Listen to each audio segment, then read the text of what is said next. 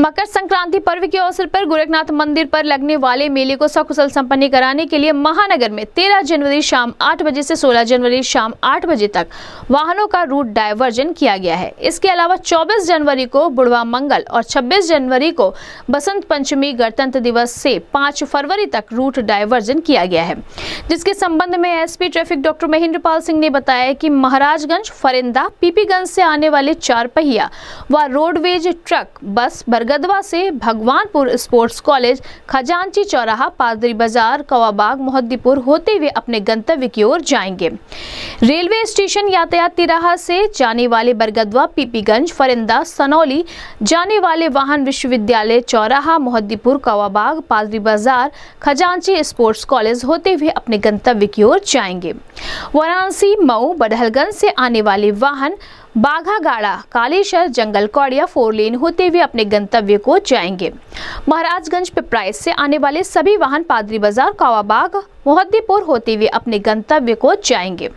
यातायात तिराहा से आने वाले सभी वाहन, धर्मशाला गंगेश दुर्गाबाड़ी, सुभाष चंद्र बोस, नगर कॉलोनी से ग्रीन सिटी मोड़ होते हुए अपने गंतव्य को जाएँगे।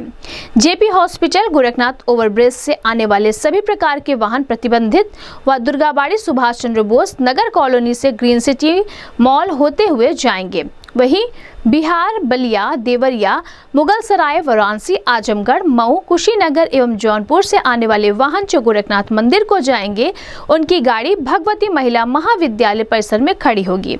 शहर क्षेत्र से आने वाले श्रद्धालुओं के वाहन Lal Bahadur Shastri junior high school Gorakhnath पुल के नीचे दुर्गाबाड़ी तिराहे पर खड़ी होगी। सूरजकुंड कॉलोनी व उसके आसपास से आने वाले श्रद्धालुओं की गाड़ियाँ रामलीला मैदान, मानसरोवर मंदिर के पास खड़ी होगी।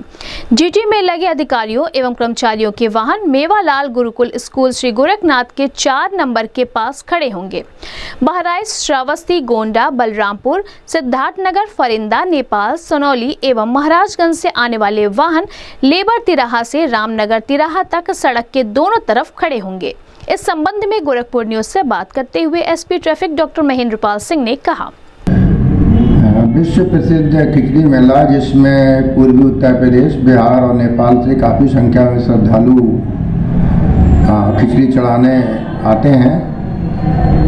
उनको दर्शन के लिए और पर्व को मनाने के लिए और सुविधाजनक बनाने के लिए हमने डाइवर्जन प्लान लागू हुआ है, जो आज तेरह जनवरी की शाम छः बजे से लागू होगा और सोलह तारीख की शाम को छः बजे तक जो है ये जारी रहेगा डाइवर्जन प्लान इस डाइवर्जन प्लान के अंतर्गत बाहर से आने वाले हैवी व्हीकल्स पे पूरा रोक है, जो नो एंट्री रात को खोलते हैं, वो नो एंट्री नहीं खोली जाएगी।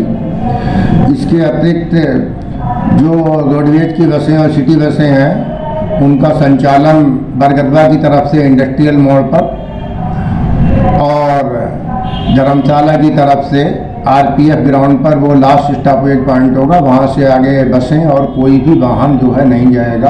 ऑटो और ई रिक्शा भी इस नो व्हीकल जोन में आरपीएफ ग्राउंड से लेके इंडस्ट्रियल मोड़ तक प्रतिबंधित रहेंगे। बाहर से आने वाले भारी वाहन, वाहनों के लिए जो महाराजगंज फरेंदा की तरफ़ से आएँगे, वो इंडस्ट्रियल मोड़ से मुड़कर खजांची स्पोर्ट्स कॉलेज कौगाबाग मोहद्दीपुर होते हुए चाहे रेलवे स्टेशन जाना हो अथवा देवरिया जाना हो, अपने गंतव्य के लिए प्रस्थान करेंगे। इसी प्रकार लखनऊ, संत कबीर नगर, बनारस, बड़ालगंज की तरफ़ से आने वाले वाहन बागागाड़ा कालेश्वर और जंगल कौड़िया होते हुए फोर लेन के माध्यम से बाईपास होंगे। और शहर के अंदर रामलीला मैदान, रसूलपुर तिराहा दशहरी बाग तिराहा और हिमायूपुर चौराहा से मंदिर की तरफ़ जाने वाले सभी प्रकार के वाहन प्रतिबंधित रहेंगे। वीआईपी जिनको पास निर्गत किए गए हैं, जो मंदिर में इनवाइटेड हैं, उनके आने का रूट धर्मशाला, गंगे, चौराहा, सूरजकुंड ओवर ब्रिज अंधियारी बाग रसूलपुर और दशहरी बाग से होते हुए गोरखनाथ मंदिर के गेट नंबर चार से प्रवेश करेंगे, केवल पास धारक वाहन। इस पर हमने पार्किंग की पर्याप्त व्यवस्थाएँ की हैं। पार्किंग में सबसे पहले भगवती महिला महाविद्यालय पर देवरिया बिहार से आने वाली बसों की पार्किंग की गई है। इसके बाद आरपीएफ ग्राउंड पर फोर व्हीलर्स की पार्किंग है। गोरखनाथ ओवरब्रिज से उतर के दाहिनी तरफ़ टू व्हीलर्स की पार्किंग है। और रामलीला मैदान में सूरजकुंड कॉलोनी के आसपास रहने वाले श्रद्धालुओं की पार्किंग है। मेवालाल गुरुकुल महाविद्यालय में जो भी कर्मचारी पुलिसकर्मी हों, राजस्वकर्मी हों, अन्य के हैं, उनके पार्किंग की व्यवस्था की गई है। लेबर तिराहा से रामनगर तिराहा तक और बागीचा पार्किंग और औद्योगिक क्षेत्र से रामनगर तिराहा सड़क के दोनों तरफ़। शांतिवरम लाम एवं कुष्ठ आश्रम के पीछे एवं सिंचाई विभाग कॉलोनी एवं स्प्रिंगर रोड मोड़ पर सड़क के दोनों तरफ़। जो भी वाहन बैराज, श्रावस्ती, गोंडा, बलरामपुर, सिद्धार्थनगर की तरफ़ से आएँगे, उनके पार्किंग की व्यवस्था की गई है।